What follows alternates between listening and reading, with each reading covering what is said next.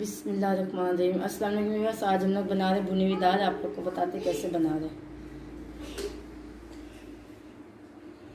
देखिए, मैंने दाल ली थी एक पाव, जो मैंने इसको बॉयल करके, इसको छन्नी में छान के रख दी है। देखिए, ये बहुत अच्छे से दाल साबुत दाल है। इसके मैंने पीसा नहीं है, कुछ भी नहीं किया, साबुत बनी हुई की है। और मैंने तीन, दो बड़े आलू लिए थे, जो मैंने इसको टुकड़ों में काट लिया है। आलू मेरे आलू भी मेरे बच्चों को पसंद है, इसलिए मैं आलू डालती हूँ हर चीज़ में। और मैंने तीन मिर्चें ली है हरी, जो मैंने इसको काट लिया। आधा मैंने धनिया लिया, उसको मैंने काट लिया। और ये दो बड़ी प्याज है, जो मैंने इसको स्लाइस में काट लिया छोटी छोटी और ये मैंने तीन टमाटर लिए मीडियम साइज़ के बड़े तो मैंने इसको काट लिया टुकड़ों में। दो टीस्पून भरकर कुटी मिर्ची और एक टीस्पून लाल मिर्ची पाउडर। और एक टीस्पून चना नमक और एक टीस्पून भरकर धनिया पाउडर ओ सॉरी ज़ीरा पाउडर है। धनिया नहीं, ज़ीरा पाउडर है। और एक टीस्पून जो गरम मसाला पाउडर और ये कसूरी मेथी। सॉरी हल्दी रखनी है अभी, हल्दी भूल गई। और ये ज़ीरा है तो मैं इसको तेल में अभी ऐड करूँगी। देखिए, मैंने चूल्हा जला दिया मेरा तेल गर्म हो रहा है। एक कप मैंने तेल लिया था। अभी हम इसके अंदर ज़ीरा ऐड करेंगे।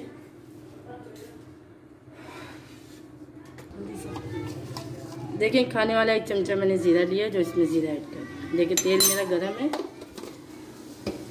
अभी इसके अंदर हम प्याज भी ऐड करेंगे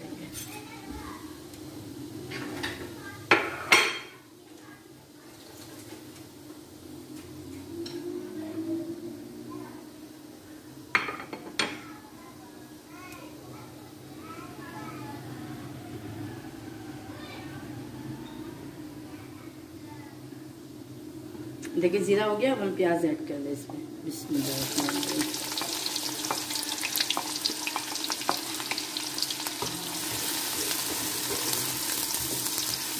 जैसे हमारे प्याज हो जाएँगे, उसके बाद हम अंदर मसाले और सब ऐड करेंगे। गोल्डन हो जाएँगे प्याज।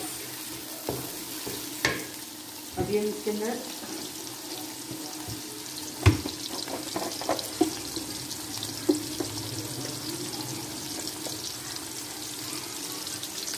मैंने एक टी स्पून हल्दी भी डाल दी है इसमें, ठीक है? नमक अपने टेस्ट के मुताबिक डाल सकते हैं आप लोग। देखिए हमारे प्याज हो गए, इसके अंदर आलू ऐड कर रहे हैं क्योंकि दाल तो हमारी बॉयल हुई है, आलू नीचे पहले भून गए आलू भी जल गए हमारे एक, दो मिनट तक आलू को भूनेंगे, उसके बाद हम इसके अंदर टमाटर और मसाले ऐड करेंगे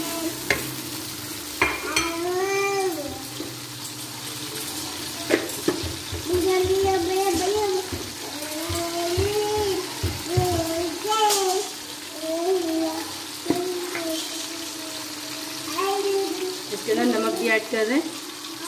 नमक अपने टेस्ट के मुताबिक डाल सकते हैं आप लोग, जितना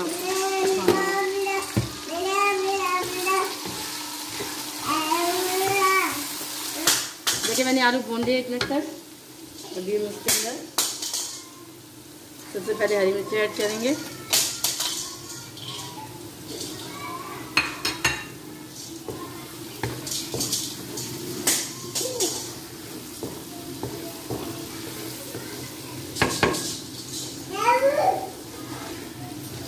उसके बाद हम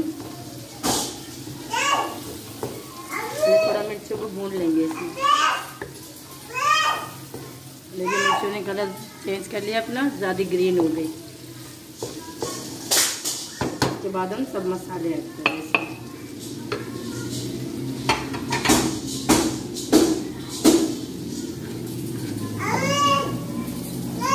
क्या वही हम भून के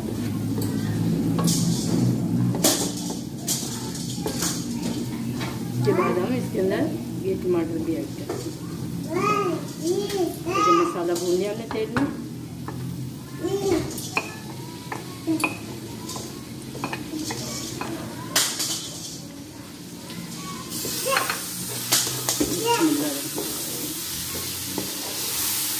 माशाल्लाह खुशबू बहुत ही अच्छी आ रही मसाले की।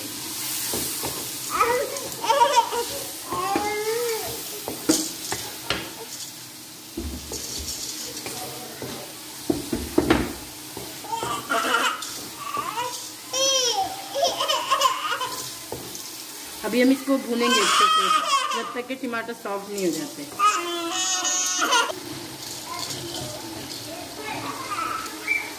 देखिए इसके ना आधा कप पानी भी ऐड कर रहे हैं अभी। बिल्कुल आधा कप है। आधे से भी कम है। तो इसको हम कवर कर देंगे। एक से दो मिनट तक।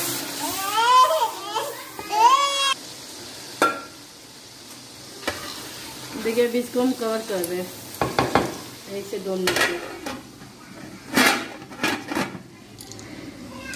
आज मेरी देर है चूल्हे की। देखिए, अभी हम अपने सालों को चेक कर रहे हैं, मसाले को।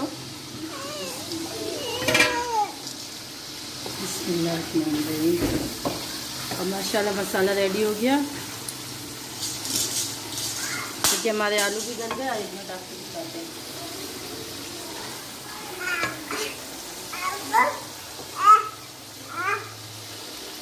देखिए, आलू भी गल गए, अच्छे से। ठीक है? अब इसके अंदर हम दाल ऐड कर हैं।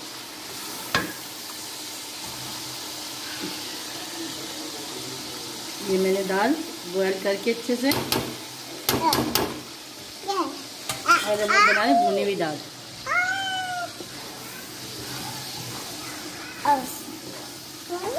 अच्छे से मिक्स करके उसके बाद हम इसको कवर कर देंगे।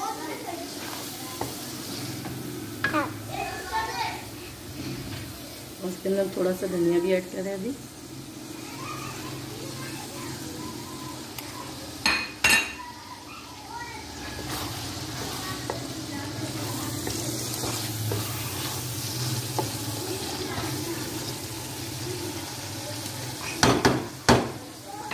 हम अभी कवर कर रहे हैं और इसकी आँच थोड़ी कम कर रहे हैं। देखिए जी आँच इसको छोड़ दिया। चार मिनट तक छोड़ दिया है देखिए, अभी हम सालन को चेक कर रहे इसमें माशाल्लाह, सालन तो रेडी हो गया। हम इसको थोड़ा सा भुनेंगे, चूल्हा तेज कर दिया मैंने।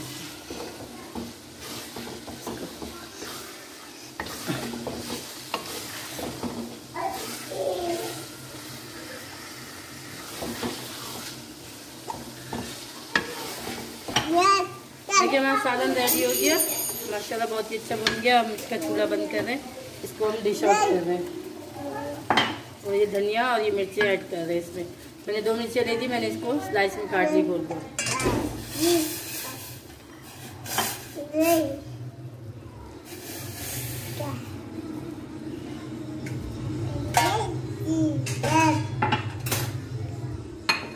माशाल्लाह दाल बहुत अच्छी बन गई।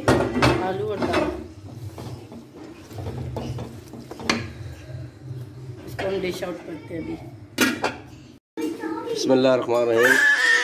अस्सलाम दोस्तों।